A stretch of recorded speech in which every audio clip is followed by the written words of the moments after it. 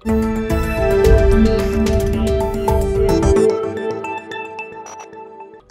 News में आप हैं मेरे यानी कि देव के साथ। आइए देश दुनिया की खास खबरों पर एक नज़र डालें। महाराष्ट्र में सरकार गठन को लेकर शिवसेना और बीजेपी के रिश्तों में आई दरार अब दिल्ली तक पहुँच गई है। सोमवार को मोदी सरकार में शिवसेना के कोटे से मंत्री अरविंद सावंत ने पद से इस्तीफा देने का ऐलान कर दिया। सावंत ने ट्वीट कर इसकी जानकारी दी। शिवसेना के इस नए दांव को महाराष्ट्र में एनसीपी के साथ मिलकर सरकार बनाने के कदम के तौर पर भी देखा जा रहा है। बता दें कि एनसीपी ने महाराष्ट्र में गठबंधन से पहले शिवसेना के सामने एनडीए से अलग होने की शर्त रखी है। अब सवाल यह है कि केंद्र में मोदी की टीम से अलग होने के बाद क्या शिवसेना एनडीए से भी ब्रेकअप का ऐलान करेगी? मोदी सरकार से अरविंद सावंत के इस्तीफे के बाद शिवसेना ने कहा है कि बीजेपी के साथ उसके रिश्ते अब केवल औपचारिकता मात्र हैं।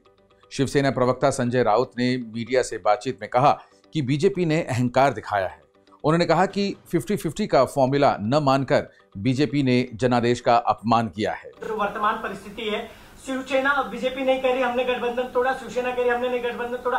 क्या सर, हम आपसे जाने, आज गठबंधन टूट गया? देखिए, भारतीय जनता पार्टी ने कल राज्यपाल से जाकर कहा है, राज्यपाल महोदय से, कि हम सरकार नहीं बना सकते, हमें मैंडेट नहीं और शिवसेना हमारे साथ आने को तैयार नहीं, इसलिए हम बहुमत नहीं जुटा पा रहे, इसलिए हम अपोजिशन में बैठेंगे।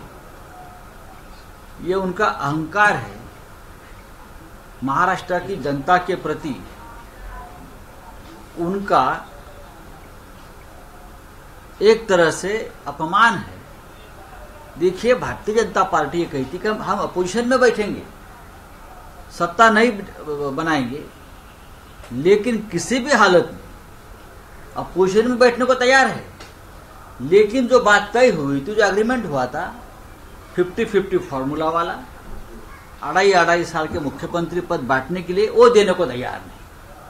आप उससे समझ सकते हैं किसके दिमाग में क्या था, पहले भी और आज भी।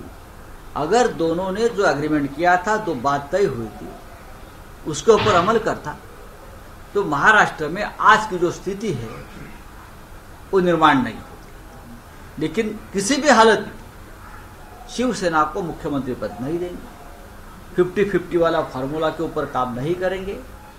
चाहे हमको विपक्ष में बैठना पड़े इस अहंकार को महाराष्ट्र की जनता का मैं अपमान मानता हूँ। इधर एनसीपी के चीफ शरद पवार ने ऐलान किया है कि कांग्रेस के साथ बातचीत के बाद ही वो शिवसेना के साथ सरकार बनाने पर कोई फैसला लेंगे।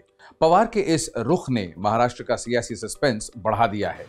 सुनिए एनसीपी के नेता नवाब मलिक ने क्या बताया। निश्चित रूप से राज्यपाल जी की भूमिका की तरफ़ हम नज़र बनाए हुए हैं। राज्यपाल महोदय अगर शिवसेना को आमंत्रित करते हैं तो हम सोचेंगे कि हमें क्या करना है।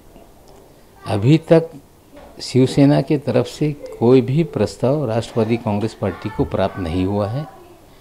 हम निर्णय लेते समय कांग्रेस और राष्ट्रवादी कांग्रेस पार्टी एक साथ निर्णय लेगी, जैसा कि पवार साहब ने ऐलान किया था।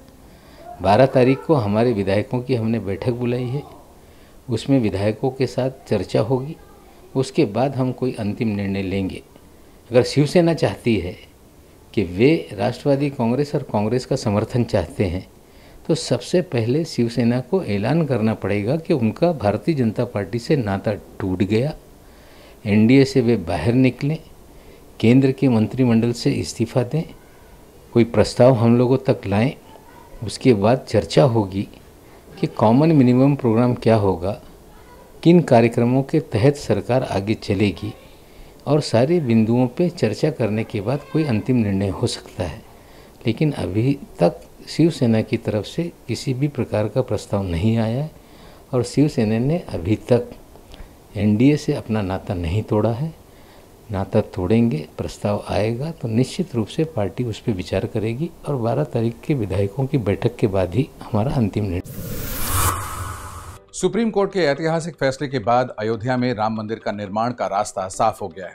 माना जा रहा है कि अगले साल 2 अप्रैल को भगवान राम के जन्मदिन रामनवमी के दिन एक विशेष कार्यक्रम में भव्य राम मंदिर का निर्माण शुरू हो सकता है। इस मामले से जुड़े लोगों ने बताया कि राम मंदिर के निर्माण के लिए टाइमलाइन सुप्रीम कोर्ट के 9 नवंबर के आदेश के मुताबिक ही है। इस आदेश में कोर्ट ने केंद्र सरकार को तीन महीने के अंदर मंदिर निर्माण के लिए एक ट्रस्ट बनाने का आदेश दिया था। ये अभी तक स्पष्ट नहीं है कि राम मंदिर का शिलान्यास होगा या नहीं, क्योंकि साल उन्नीस सौ नवासी में राम मंदिर का शिलान्यास हो चुका है। सरकारी सूत्रों ने बताया कि मंदिर बनाने में दो से तीन साल का समय लग सकता है। सूत्रों ने यह भी बताया कि उत्तर प्रदेश के मुख्यमंत्री कार्यालय ने अयोध्या के जिलाधिकारी से पाँच एकड़ ज़मीन के लिए तीन से चार वैकल्पिक स्थानों की पहचान करने के लिए कहा है। अहम लोकेशन वाला भूखंड सुन्नी सेंट्रल वक्फ बोर्ड को मस्जिद बनाने के लिए दिया जाएगा। तेज गेंदबाज दीपक चाहर ने नागपुर के वीसीए स्टेडियम में इतिहास रच दिया। उन्होंने बांग्लादेश के खिलाफ टी सीरीज़ के आखिरी और निर्णायक मुकाबले में सिर्फ़ सात रन देकर छह विकेट झटके। ये उनके करियर ही नहीं, बल्कि टी ट्वेंटी इंटरनेशनल क्रिकेट की सर्वश्रेष्ठ बॉलिंग है। फाइनल मैच में भारत ने बांग्लादेश को 30 रनों से हराकर सीरीज़ पर दो एक से कब्जा कर लिया है। भारत ने निर्धारित 20 ओवर में पाँच विकेट के नुकसान पर एक सौ चौहत्तर रन बनाए थे। जिसके जवाब में बांग्लादेश की पूरी टीम 19.2 ओवर में 144 रनों पर ढेर हो गई। मैन ऑफ़ द मैच चुने गए चाहर इस वर्ष हैट्रिक लगाने वाले तीसरे भारतीय गेंदबाज रहे।